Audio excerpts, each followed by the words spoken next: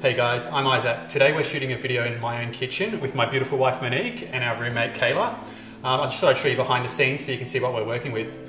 All right, so for lighting today, we're just going with a single light setup. So I've got the Aputure 300D Mark II set up here.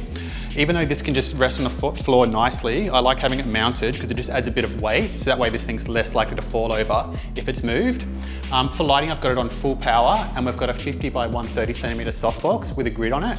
That way the light hits our talent over here and doesn't hit the background too much because I like the background to be a little bit darker so the grid sort of stops the uh, microwave and stuff lighting up four cameras, our A-cams over here, which is an X-T3 with a 35 f2 lens.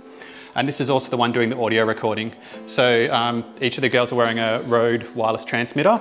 So I have both of them on here with a Saramonic uh, joiner so that the left and right channels get merged together into a single audio source in camera. That way I don't have to sync audio in post.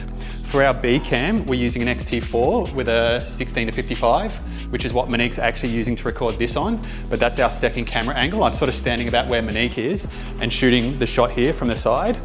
And then our C cam is actually our tabletop cam. So this is another X-T3, and I had the 10 to 24 mil lens on there, and then I'm running a HDMI cable down across over here and to this monitor here. That way the girls can see what's on the table as they're doing so they can make sure their hands are in the right position.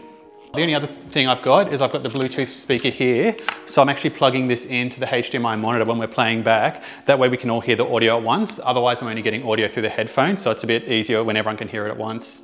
Hey guys, I feel like I did an okay job of explaining what I did on the weekend with that behind the scenes video, but I didn't do a very good job of explaining why I did some of the things I did. So I just wanted to give a bit more of an explanation on what went on there and uh, give a couple of tips. Uh, my first tip would be to make sure you get a good YouTube thumbnail. So um, what I'll usually do is just when I'm in the middle of shooting, when I've got a good scene set up, usually from the A-cam, is I'll just get the talent to just sit there and smile for a couple of seconds, which sounds kind of awkward, but if they stay still enough, I can easily get a really high quality 4K screen grab from that and use that for the YouTube thumbnail. Now I could switch the camera over into photo mode and take an even higher quality image, but I feel like the settings are already, like the eye exposure's nailed, it's all perfect. So just do that and the quality is more than good enough for a YouTube thumbnail. One other tip I've got, uh, especially when shooting with Fuji using a SmallHD monitor, is um, to turn on the metadata in the SmallHD monitor. And what you can do is have a red box appear around the outside of the monitor whenever you're recording. So the reason I do this is because if I turn on HDMI info display, where the camera outputs all its camera settings and stuff over HDMI, um, that's really good. I can see my shutter speed and, and if I'm recording, but the image is really low quality. Like it looks like it's a 480p signal that's output to the back monitor on the Fuji Um, and that's just getting pushed out over HDMI. So it's a 1080p feed technically, but it doesn't look anywhere near as crisp. So when I turn HDMI info display off, it's much crisper. So I don't need to find myself looking down at the bottom screen just to check if I'm recording. I can just stare at the monitor and see exactly what's going on and know that I'm recording. I used a single light source, the Aputure 300D Mark II in the gridded softbox to light this one.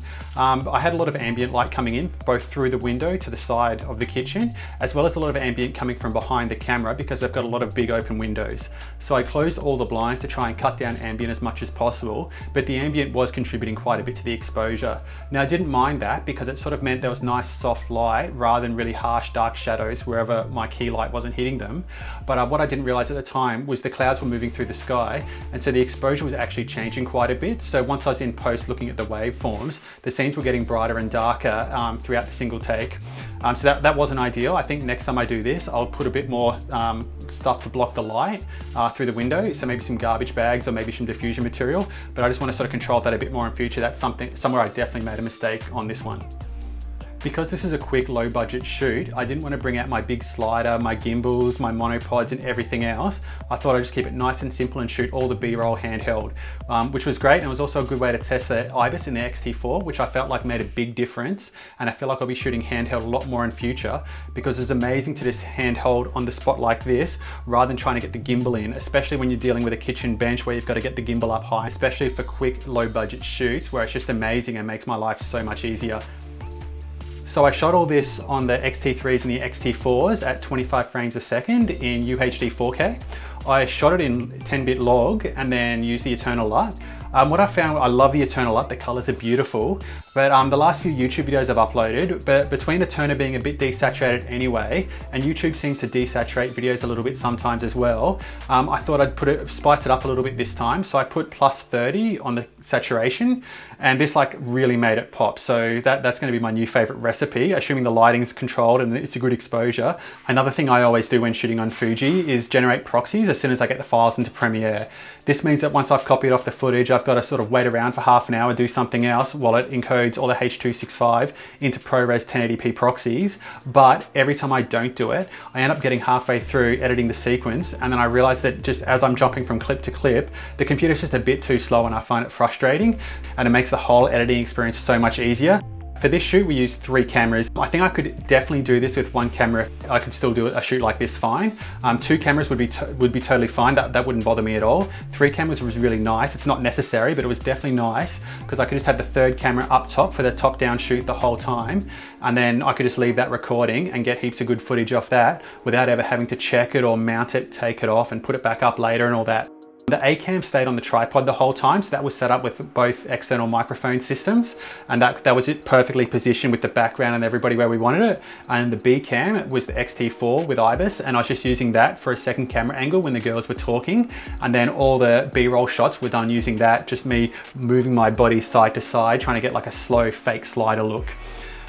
The only downside to shooting with three cameras I've found is you end up with so much extra footage. So when I'm doing run and gun jobs with one camera, I come home and if I was shooting for an hour, you know, I've got one hour of footage, whereas with this three camera setup, I find at the end of a one hour shoot, I've got almost three hours of footage to go through. And so like, even though I scrub through it at double speed or triple speed sometimes to just pick out the good bits, it definitely takes a lot longer to generate proxies and to just go through and find all the good bits in the first place. Having said that, I'll definitely keep shooting three camera setup because having that third camera angle in post just makes such a difference. I feel like my editor's so much nicer or if the B cam isn't, isn't so good, I can just cut down to a top down. I'm loving it.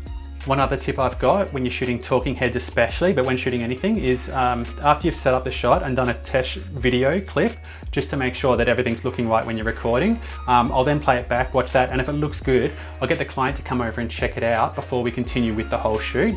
Um, I find this really helps me because often I'm shooting women and they might notice a flyaway hair or some other distracting clothing item or something that me as a dumb male would never notice, but it really stands out to the girls.